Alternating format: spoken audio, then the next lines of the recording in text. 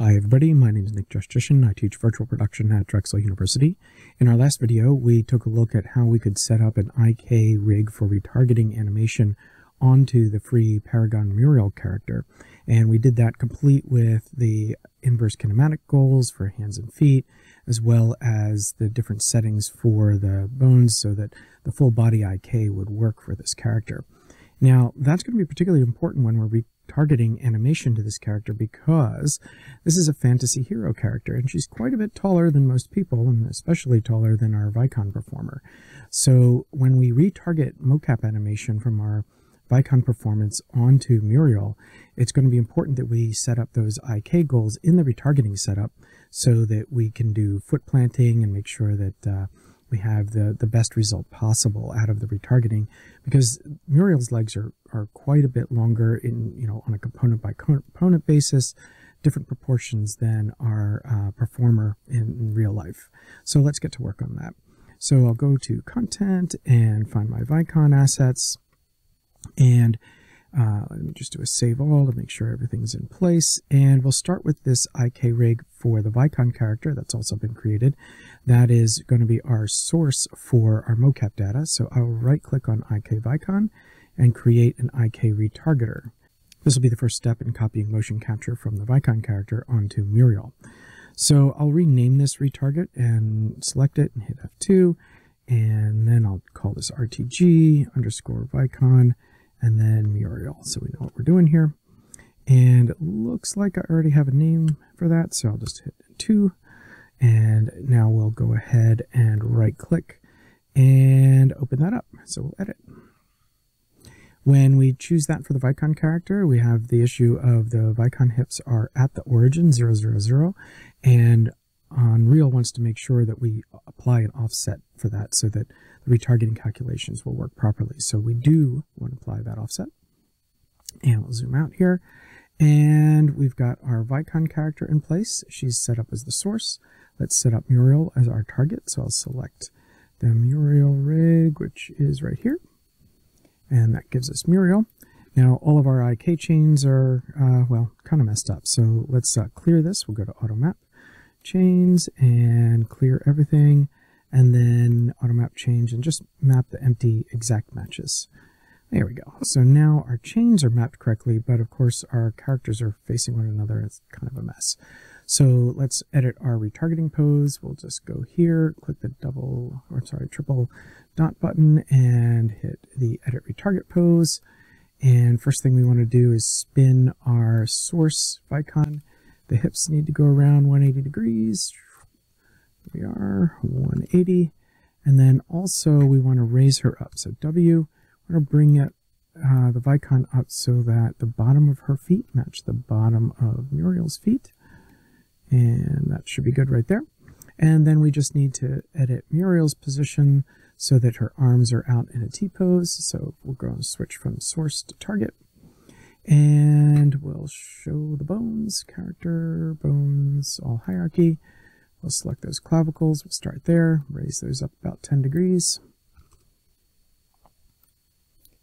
And 10. I think the arms, if I remember correctly, go up about 70 degrees. Yeah, 70 degrees.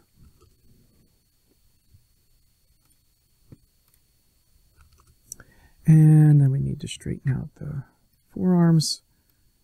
And negative 20, huh? All right, that looks good.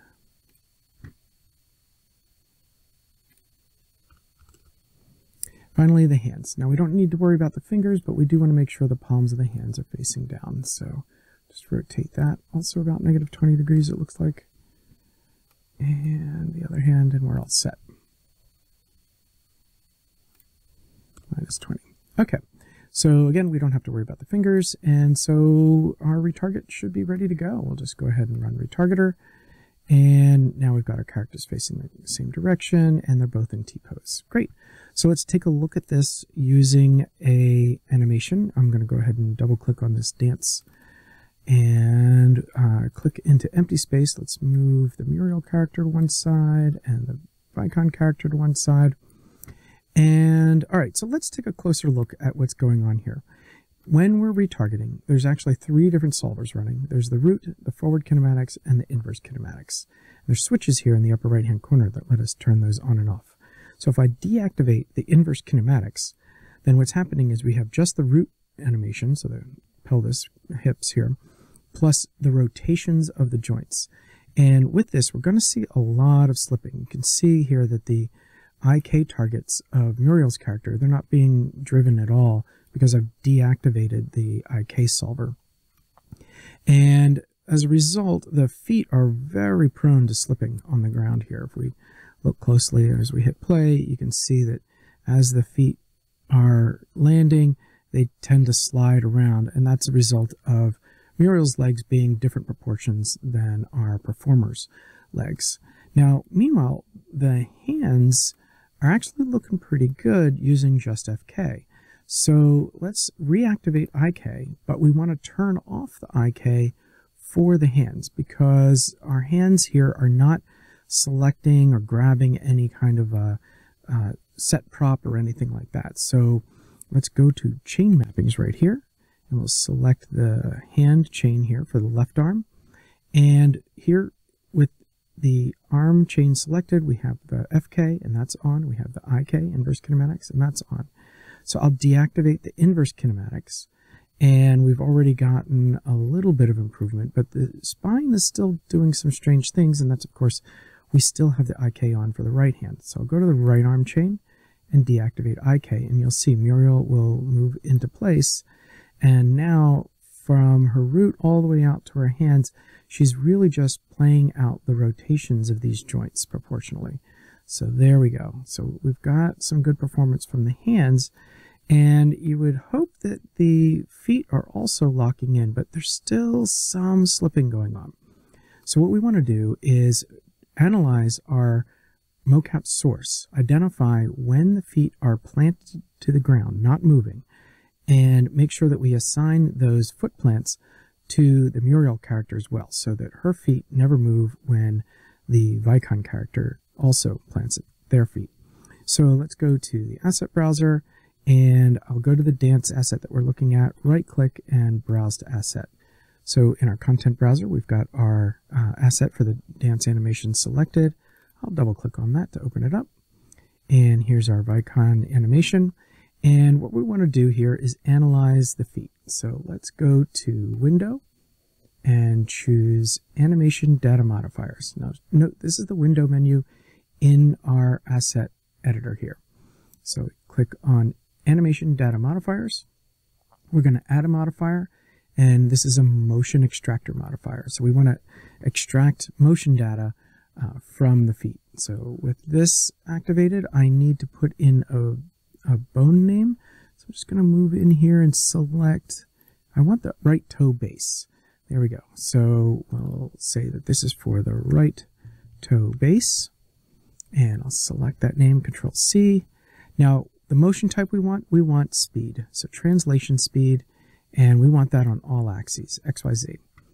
So that's set up for the right toe. Let's add another one of these, motion extractor modifier.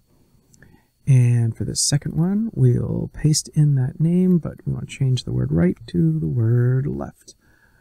All right, make sure we capitalize that, left toe base. Again, translation speed, and again, all three axes, X, Y, Z. With that all done, we can go ahead and apply the modifiers. When we click Apply Modifiers, Unreal is going to analyze the movement of the right toe base and the left toe base joints and add curves to our animation to report on the speed of those bones as the animation plays out. So you can see we've got lots of different peaks and valleys. So if I move into here, for example, and zoom right in on that little bit of the timeline, here we can see that there are generally times when the uh, the value is basically floored at zero, and that is when, of course, here the feet are both uh, down on the ground. And if we see this little peak here, that's, that should correspond to the left foot here. This is the left foot. When that left foot moves, right there, there we go, there's the left foot moving, and it's got some speed. And then when that foot goes down, now we pick up our right foot and we see a little blip in motion for that right foot, and then another one.